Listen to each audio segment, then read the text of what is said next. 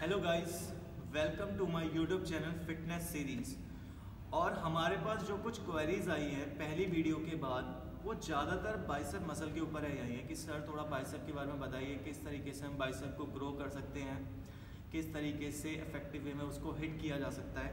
तो गाइस जो आज की ये वीडियो है, वो पूरी की पूरी बाइसेप मसल के ऊपर ही होने वाली है। तो इसको लास्ट तक ज़रूर देखें, ताकि आपको भी कुछ टिप्स एंड ट्रिक्स पता चल जाए, जिससे कि आप अपने बाइसेप मसल को अच्छी तरीके से ग्रो कर पाए, ठीक है? अब एक्सरसाइज से पहले, मैं कुछ साइंस की बात बोलना चाहूँगा। जैसे कि आपको पता है, जो हमारी पूरी बॉडी है, वो साइंस पे वर्क करती है and fitness is totally fitness is totally based on science okay तो जो हमारी बाइसेप मसल है, वो हमारी शोल्डर मसल से स्टार्ट होती है, और कनेक्टेड होती है एल्बो मसल से। ठीक है? बाइसेप मसल में दो बेसिक मसल होती हैं। पहली होती है हमारी long head first one is long head and second one is short head जो कि दोनों मिलके एक एज अ सिंगल मसल की तरह वर्क करती है। Long head and short head दोनों मिलके एज अ सिंगल मसल की तरह वर्क करती है। तो अगर आप चाहते हैं कि आपकी बाइसेप की ग्रोथ अच्छी हो तो आपको लॉन्ग हेड और शॉर्ट हेड दोनों को ही प्रॉपरली ट्रेन करना पड़ेगा। Long head muscle and short head muscle दोनों को ही प्रॉपरली ट्रेन करना पड़ेगा।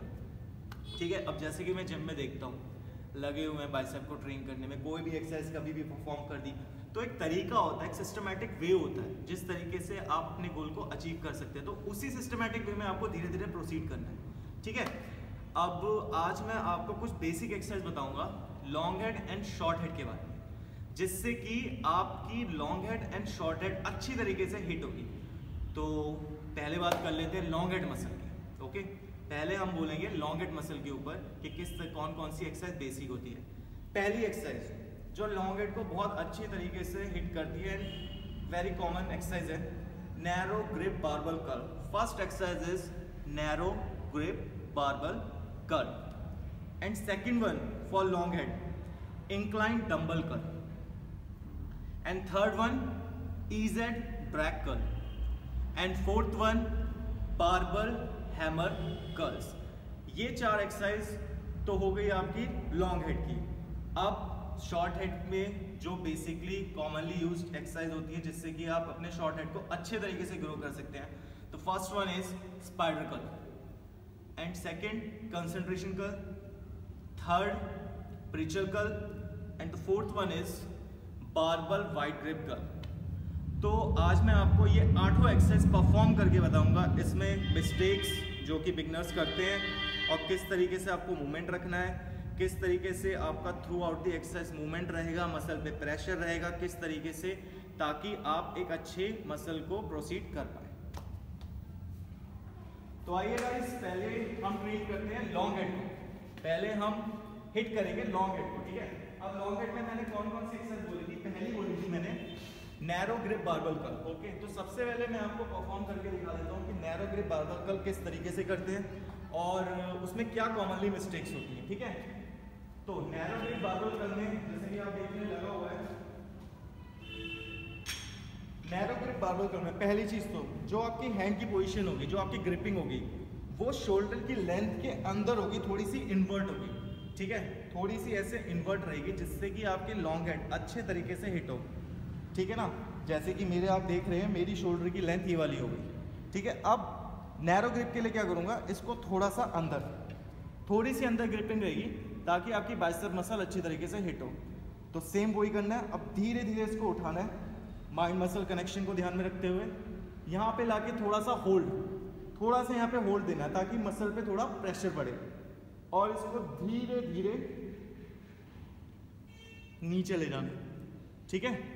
एंड रिपीटेडली धीरे धीरे इसको ऊपर, यहाँ पे होल्ड और धीरे धीरे इसको नीचे ले जाना।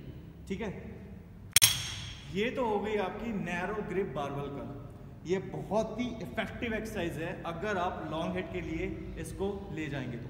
बहुत ज़्यादा इफ़ेक्टिव एक्सरसाइज है, बहुत अच्छे तरीके से आपका लॉन्ग हेड हिट होगा।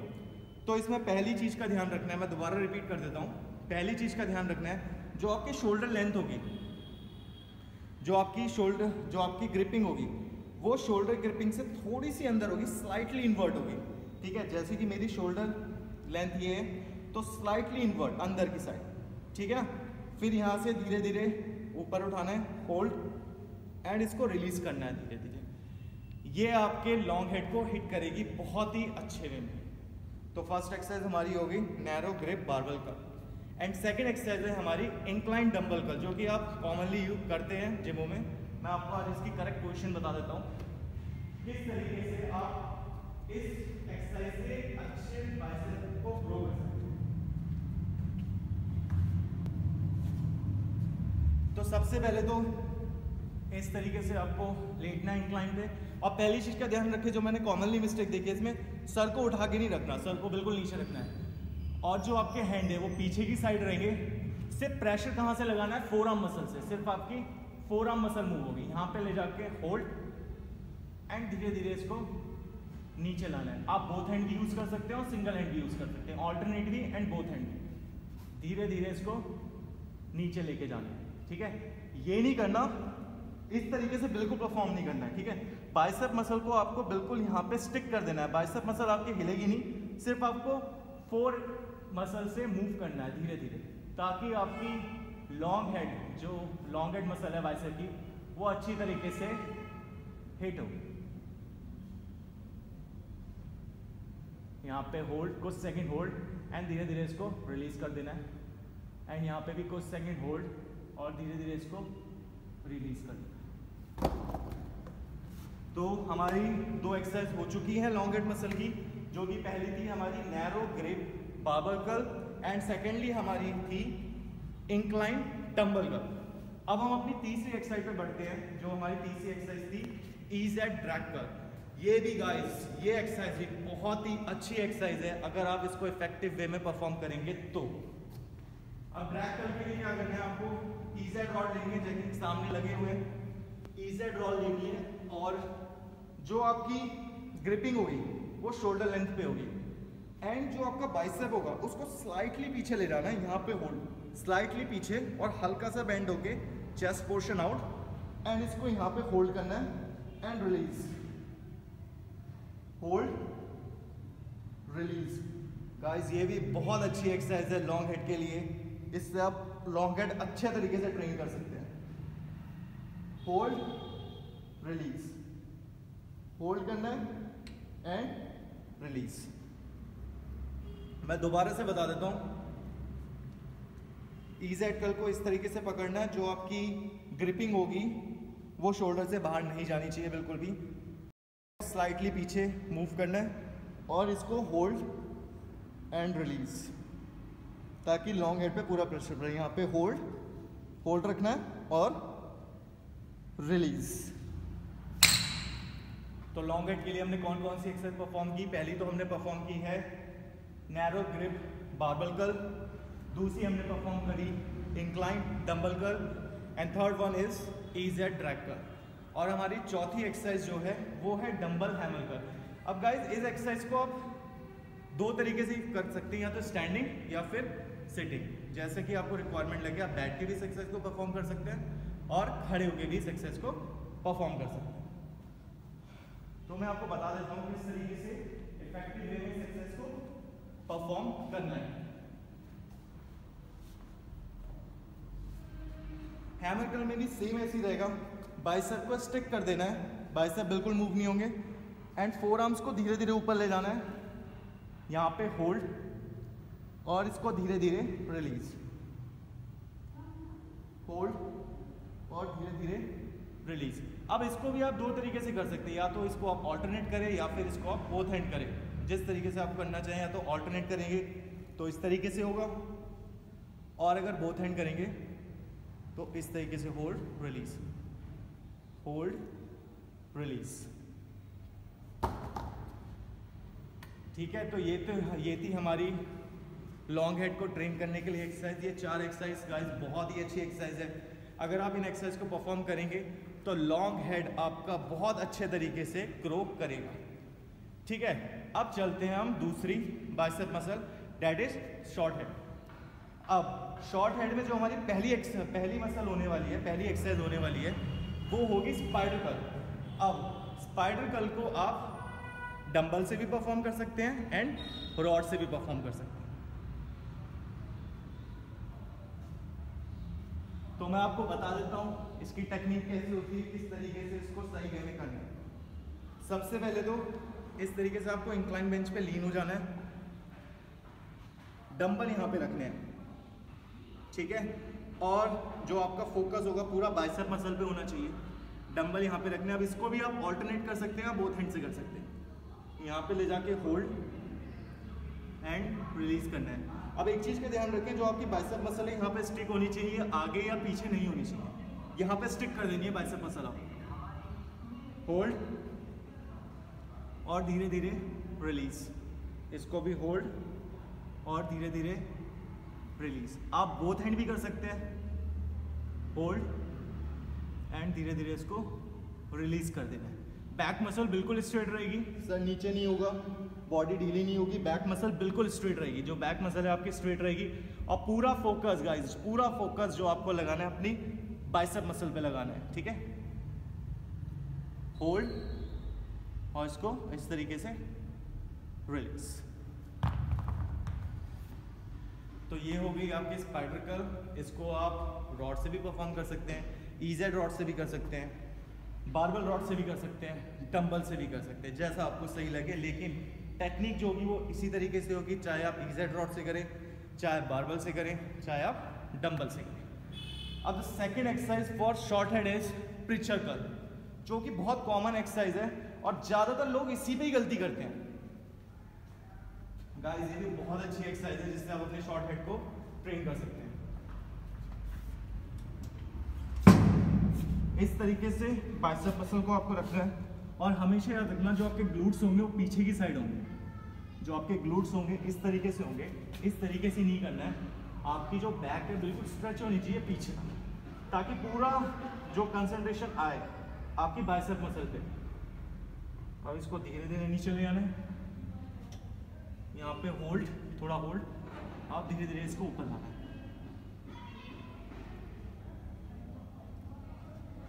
नीचे ले आके होल्ड धीरे धीरे इसको ऊपर। नीचे ले जाके होल्ड और धीरे धीरे इसको ऊपर लेकर आना है। एंड यहाँ पे थोड़ा होल्ड करना है।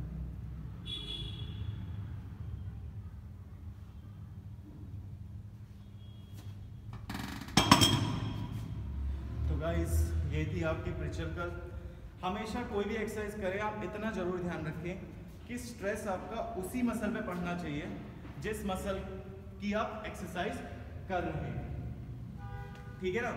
और जितना स्लो मोशन होगा आपका, जितना ही आपका स्लो मोशन होगा, उतना ही आपका मसल माइंड कनेक्शन अच्छा रहेगा। ठीक है? अब शॉर्ट हेड की हमारी दो एक्सरसाइज हो चुकी हैं। पहली हमने करी थी स्पाइडर कल आप स्पाइडर कल रॉड से भी कर सकते हैं। मैंने आपको डंबल से करके दिखाया ठीक है? सेकेंड वन एक्सरसाइज हमने करी preacher curl and the third one exercise is barbell wide grip curl barbell rod perform करनी है, लेकिन जो हमारी ग्रिप होगी थोड़ी सी वाइड होगी ताकि शॉर्ट हेड हमारा हिट हो जाए। अब बारबल में कैसे करना है? जैसे आपकी शोल्डर लेंथ ये है, मेरी शोल्डर लेंथ ये है, मेरी शोल्डर ग्रिपिंग ये है तो इसको स्लाइटली बाहर की साइड को करना है। ग्रिपिंग शोल्डर से बाहर रहेगी ताकि आपकी शॉर्ट हेड हिट हो। अब इसे धीरे से ले आके ऊपर होल्ड एंड धीरे धीरे इसको नीचे लेकर आना। ऊपर ले जाके होल्ड और धीरे धीरे इसको नीचे लेकर आना, ठीक है? गाइस मोशन बिल्कुल स्लो होना चाहिए। जितना आप हो सके, जितना आपसे हो सके, उतना स्ट्रेस आपकी मसल पे पड़ना चाहिए। होल्ड तीन second max three two two two three second hold रखना है। वन टू एंड धीरे धीरे इसको नीचे लेकर आओ। ठीक है? ऊपर ले जाके hold two two three second one two and three उसके बाद धीरे धीरे डाउन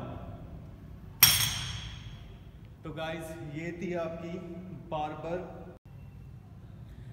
गाइस हमारी लास्ट एक्सरसाइज है कंसंट्रेशन कर जो कि बहुत ही अच्छी एक्सरसाइज है शॉर्ट हेड मसल के लिए, ठीक है? तो मैं आपको परफॉर्म करके दिखा देता हूँ कि किस तरीके से आप इसको अच्छे तरीके से परफॉर्म कर सकते हैं, ठीक है? तो सबसे पहले तो इस चीज़ का ध्यान रखना है कि जो आपका हैंड रहेगा वो इस तरीके से रहना है, ठीक है? और ट्राइसेप मसल को पूरा लीन नहीं करना है लेग पे पूरा लीन नहीं करना है, हल्का सा टच करके रखना है इसको। ऊपर उठा के यहाँ पे होल्ड और धीरे धीरे रिलीज़ ऊपर उठा के होल्ड इसको फास्ट नहीं चलाना इस तरीके से, ठीक है? हल्का सा इसको टच करके ऊपर उठा के यहाँ पे होल्ड और धीरे धीरे कुछ सेकंड होल्ड करने के बाद रिलीज़ तो गाइस ये थी एक्सरसाइज आपकी शॉर्ट हेड मसल के लिए। तो आई होप मैंने आपको बाइसेप की क्वेरी जो है काफ़ी हद तक क्लियर कर दी होगी। सो so गाइज़ अगर आप ये सारी एक्सरसाइज अच्छे तरीके से परफॉर्म कर सकते हैं तो आपकी बाइसेप मसल का साइज़ एक अच्छे तरीके से ग्रो होगा। ठीक है गाइज़ तो guys thank you for watching this video please like subscribe and share this video और बेल आइकन को ज़रूर दबाएँ ताकि मेरी आने वाली वीडियोस का आपको पहले से ही पता चल जाए।